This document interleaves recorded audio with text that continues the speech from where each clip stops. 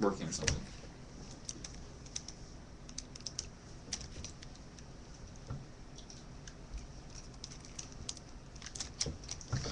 Dude.